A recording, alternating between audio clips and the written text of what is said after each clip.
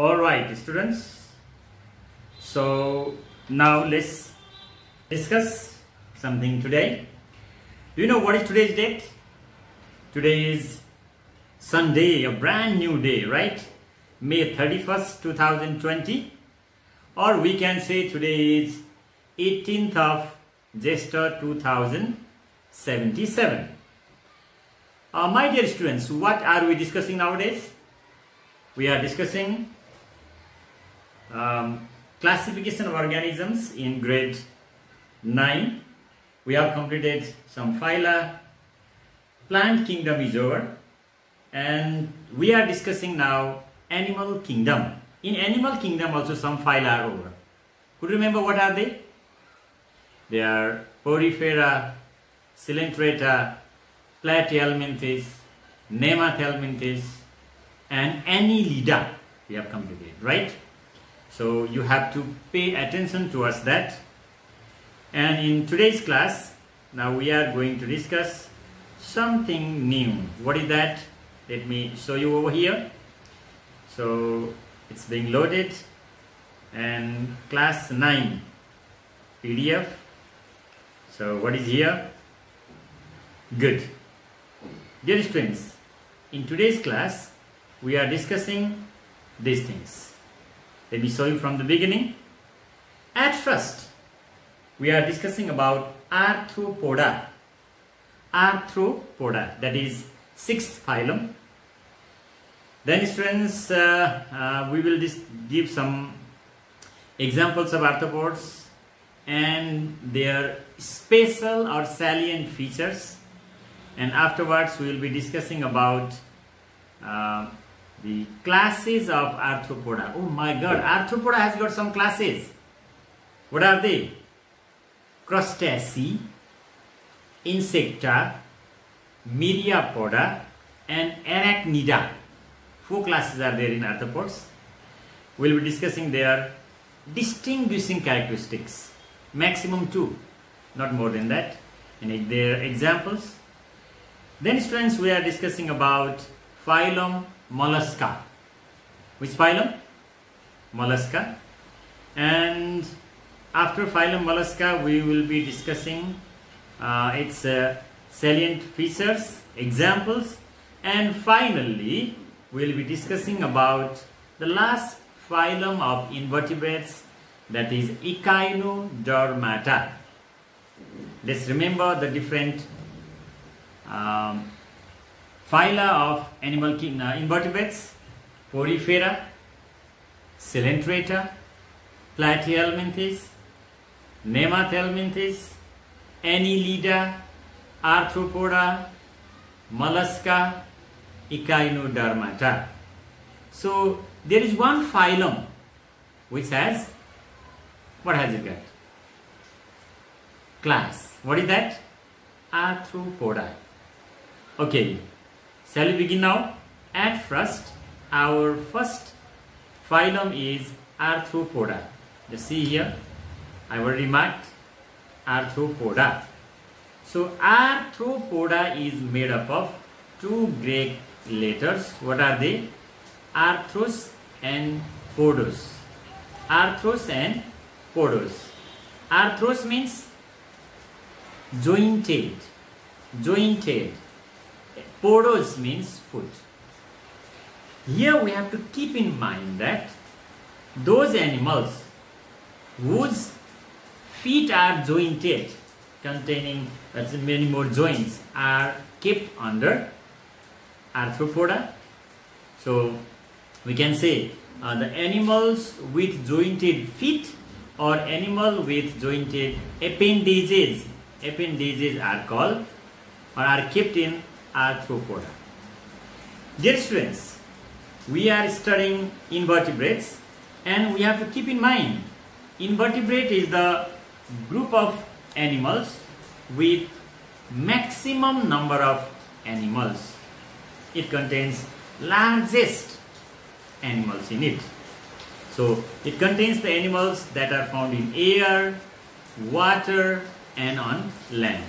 Everywhere they are found. So what are the examples of the animals that belong to arthropoda? you can say housefly, honeybee, silk moth, cockroach, louse, butterfly, and prawn. Have you seen prawn? Yeah, prawn. You have seen prawn cracker, but prawn is also there. There is one animal. Okay, so these are the animals that belong to phylum Arthropoda. So now students, let's discuss their distinguishing characteristics, salient features, salient features of arthropods. How many salient features are we going to write? We are going to write maximum 4. Understood? Maximum 4. Number 1, uh, their body is segmented, contains segments and mainly their body contains three parts, head, thorax and abdomen. Their body can be divided into three parts. What are they? Head, thorax and abdomen. Second one, their body is covered with exoskeleton. You know what is exoskeleton? If outer body part is harder, then it is called exoskeleton. So they contain exoskeleton.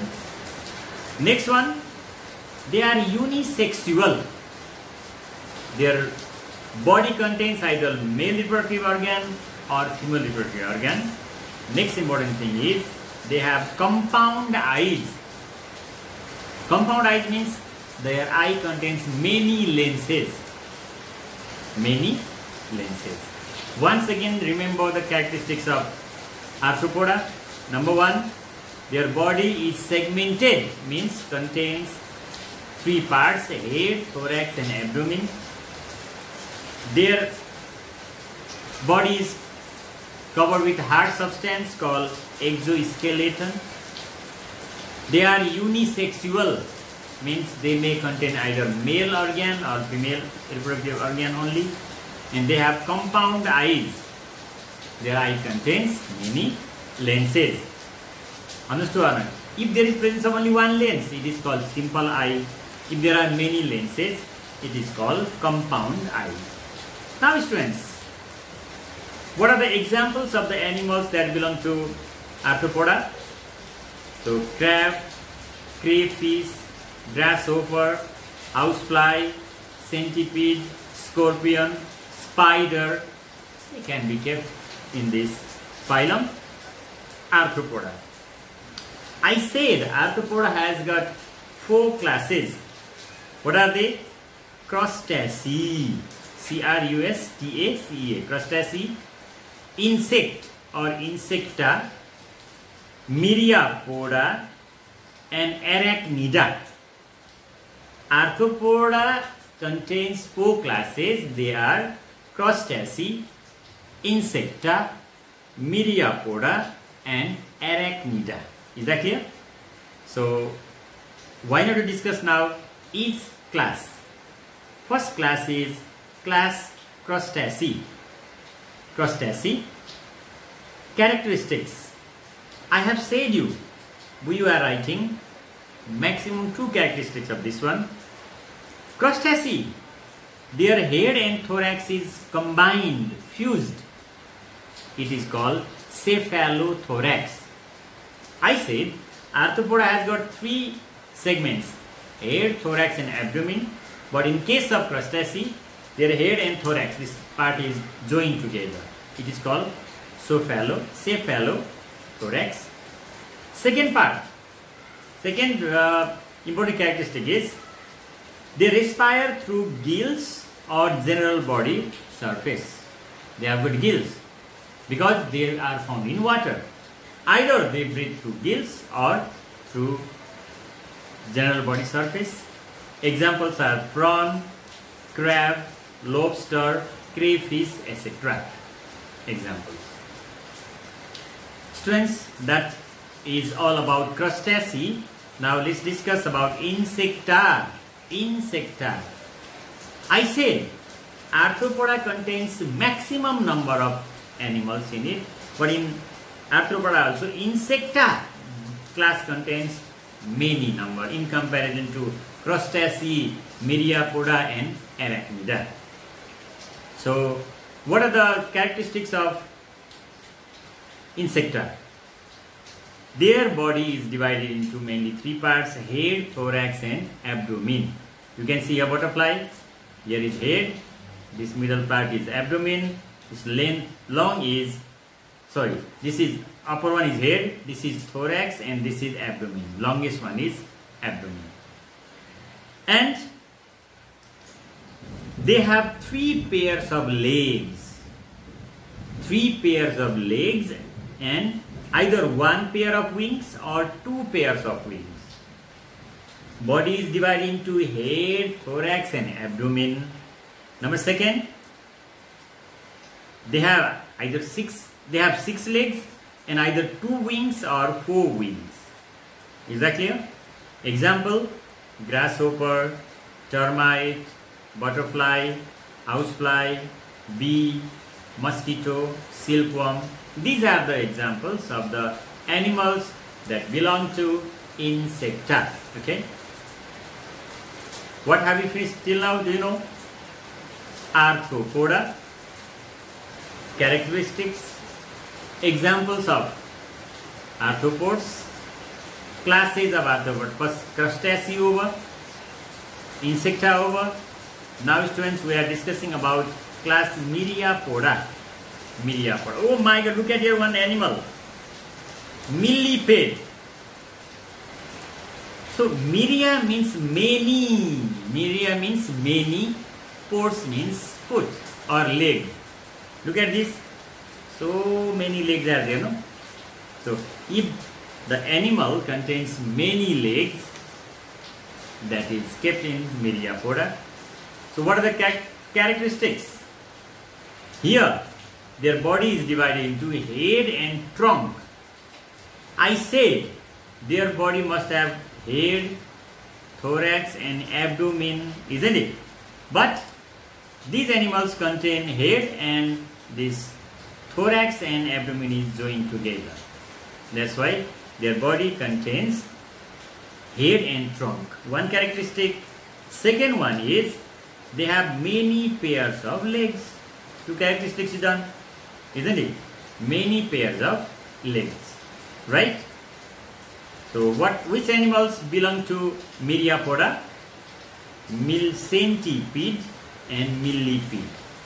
Centipede and millipede. So here is one animal. You can see the animal. What is that? Millipede. It has got many legs in its body now centipede. Centipede is another animal. You have heard about consuelo. What, what is it called? Consuelo. Sometimes it may go inside our ears, isn't it? That is centipede. It also has got many legs. Okay students, three classes are over. Let's repeat once again what are they? Crustacea, Insecta, Myriapoda. Then what are we going to discuss? Yes, Arachnida. Next uh, class is Arachnida. Arachnida. What are the characteristics? First characteristic, look at here, how many legs do they have? They have eight legs, means they contain four pairs of legs. They have four pairs of legs. And next thing is their body is divided into cephalothorax and abdomen. Head and thorax is joined together. It is called cephalothorax. And next important thing you can say, they do not have compound eyes. Arachnida do not have compound eyes. For students, you can write next characteristic. These animals are poisonous. Arachnids are poisonous. Spider is also poisonous. Scorpion is also poisonous, but mite, termite is not so much poisonous. Examples of arachnida are spider, scorpion, mite, etc. Okay. Now students, let's discuss next phylum. What is that? Phylum mollusca. Mollusca. So this is again interesting group of animals which contains very soft body soft soft body like snail, soft body, slug, soft body, isn't it? Pila, soft body, cuttlefish, slug, soft body. So, animals which contain soft body are kept under mollusca and here is one word malacology. What is malacology? Study of mollusca is called malacology. Study of mollusca is called malacology. Clear? So which animals belong to mollusca? Snail octopus dentalium cuttlefish slug chiton unio etc. Students, now what to discuss? Their important characteristics. There, their body is divided into head, visceral mass and foot. Body is divided into three parts. What are they? Head, visceral mass and foot. Next one is, okay, head, they have got head. Visceral mass is very soft part. Like you can see this one, this is visceral mass. Okay? In case of octopus.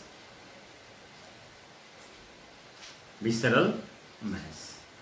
Okay students. Now what is next one? Uh, their head has tentacles. Their head has tentacles.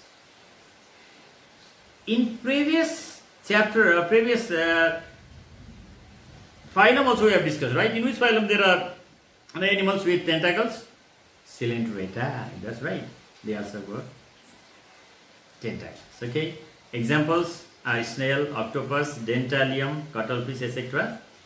Students, you may be thinking that why Sir is not explaining all those characteristics. I'm not explaining all characteristics because we are writing salient feature, main features only, not all. Now students, what to discuss? Phylum Echinodermata. Phylum Echinodermata. Okay, Echinodermata. How is it made up of? It is made up of two Greek words, echinos and derma. What is the meaning of echinos? Spiny, containing pointed structures skin. Derma means skin. If the animals contain spiny skin, pointed objects in their skin, then they are kept under echinodermata. Okay? Echinodermata. Now students, these all animals are marine, means found in salty water. Here is one thing given, just to check it out here. What is that? This phylum is great interest because of its close relation to the phylum Chordata. This group is similar to or related to phylum Chordata to somehow, not in all aspects. So students, what are the characteristics of Echinodermata? Their body is covered with spiny skin made up of calcium carbonate. Spiny means pointed skin, skin. And their body may be like a star, long or globular or like a flower. They have no distinct head. They don't have distinct head. Simply remember, their body is covered with spiny skin. Number second, they don't have distinct head. These are the two characteristics of phylum Echinodermata. Then, what are the examples of the animals that belong to phylum um, Echinodermata? Starfish, sea urchin, sea cucumber, sea lily. See, different examples are given. So, these are the phyla of invertebrates. Earlier we discussed Porifera, Coelenterata, platyhelminthes and nemathelminthes. Now what do you discuss? Arthropoda, examples,